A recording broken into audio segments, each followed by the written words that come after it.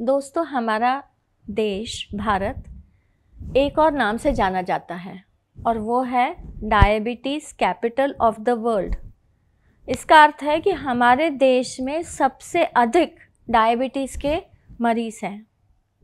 दोस्तों, ऋषि मुनियों की कड़क नियम वाली ये भूमि में भारतवासी किस दिशा में चल पड़े हैं, जो ऐसा हो रहा है?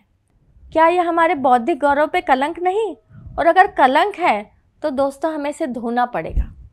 तो मेडिकल साइंस के हिसाब से समझते हैं कि डायबिटीज़ होती क्यों है?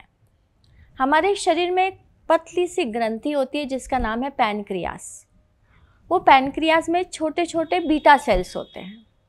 वो बीटा सेल्स इंसुलिन नाम का हार्मोन बनाते हैं। जब ये बीटा सेल्स अपना काम करना कम कर देते हैं और इंसुलिन हार्मोन शरीर को देना कम कर देते हैं तो डायबिटीज़ होती है। पिछले 20 साल में साइंटिस्ट ने ये ढूंढ के निकाला है कि इन बीटा सेल्स में विटामिन डी रिसेप्टर्स हैं। मतलब विटामिन डी का बहुत बड़ा रोल है इंसुलिन प्रोडक्शन में। और इसका साइंटिफिक एविडेंस आपको जानने के लिए डिस्क्रिप्शन में दी हुई लिंक को क्लिक कीजिए। अब हम जानते हैं कि हमें विटामिन डी कहाँ से मिलता है। हम जो खाना खाते हैं ना दोस्तों, उसमें वाइटामिन डी कहीं भी नहीं है।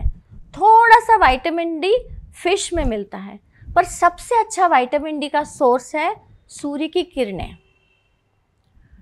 अब आप ये आश्चर्य देखिए कि सभी देशों को भारत से कंपेयर किया जाए तो भारत में सबसे अधिक सूर्य की किरणें मिलती हैं। मतलब आठ महीने, साल भर में आठ महीने हमें सूर्य की किरणें मिल रही हैं। और फिर क्यों डायबिटीज़ हमारे देश में सबसे ज़्यादा है? और हमें अब क्या करना है कि डायबिटीज़ कम हो जाए?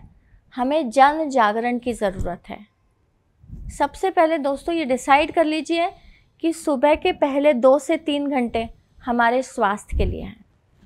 हमें सुबह सबसे पहले जल्दी उठना है, फिर पेट सौ प्रतिशत साफ़ करना है, और फिर तेल मालिश करके धूप का सेवन करना है।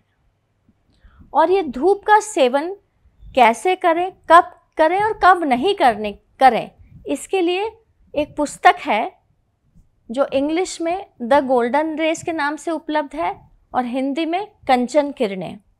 और डायबिटीज़ न हो, इसके दूसरे कारण जानने के लिए हम अगले वीडियोस में आपसे ज़रूर चर्चा करेंगे। धन्यवाद।